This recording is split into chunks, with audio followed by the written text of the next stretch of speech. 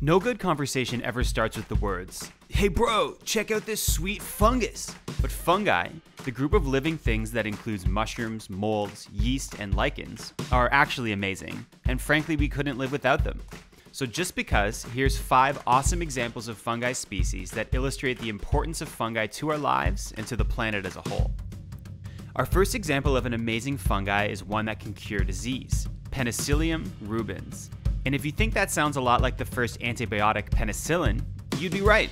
Our friend Penicillium is a fungi, well, technically it's a mold, that was discovered by accident and has since saved millions of lives. Antibiotics are super important. After they were discovered, average life expectancy jumped by 8 years. A couple of things we owe to this wonderful mold include not dying from something as simple as a paper cut or a sore throat. Our next amazing fungi is one to which we owe some of my favorite foods, and it's the baker's yeast, Saccharomyces cerevisiae. Without S. cerevisiae, there's no bread. Well, there's some bread, but no pizza. Yeast is a fungus that makes dough rise and taste so delicious. Basically, these little yeast cells eat all the little sugars in the dough and fart out a gas that makes the dough so light, fluffy, and delicious. This yeast is also really popular for scientists to study. We've made huge discoveries about our own biology by just studying it. Without it, our understanding of things like how cells work and how they divide would be much worse. Next, let's talk about lichens. And while they're easily overlooked, lichens are one of the best examples of cooperation on our planet. You'd probably recognize lichens because they grow on rocks. What you might not know is that the flaky stuff on rocks is actually a centuries old friendship between a lichen and a tiny plant called an algae or a cyanobacteria. Basically, the lichen provides structure and support, while the tiny plant turns sunlight into food through a process called photosynthesis. It's basically nature's equivalent of going over to a friend's house to cook dinner. Our most terrifyingly awesome example of a fungi is called Ophiocordyceps unilateralis, but most people call it by its common name, zombie ant fungus.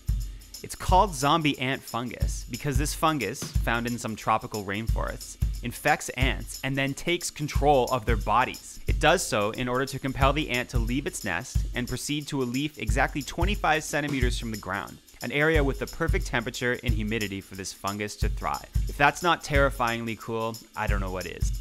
Our final example of an amazing fungi is called Physarum polycephalum, or just the blob. And while it's not strictly a fungi, it's so cool that I had to share it. Physarum is famous because it's a single celled organism that can do things that we typically associate with higher intelligence. Most notably, Physarum can find the shortest solution to a maze in search of its favorite food, an oat flake. It solves the maze by investigating every possible solution and then retracting its body along the shortest path to the food. It's a really cool example of how living things can solve problems without having a brain. Physarum has even recreated the Tokyo subway system, the American interstate system, or my favorite, the Trans Canada Highway. Everywhere you go, there's a fungus. We didn't even mention Aseroe rubra, the anemone stinkhorn, which attracts flies to spread its spores by smelling like rotten meat. Definitely the grossest fungi I can think of. Or Lactarius indigo, the indigo milk cap, which is a little blue mushroom that bleeds blue milky stuff that turns green when you scratch its skin. There's still so much about fungi we don't know. It's incredible to think about what else might be out there.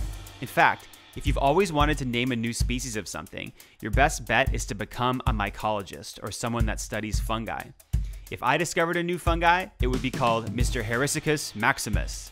Thanks for coming along for the ride. If you thought something was interesting in today's video, let me know in the comments below or hit the like button, and don't forget to subscribe for all the updates. Until next time, stay curious, and please stay away from zombie fungus.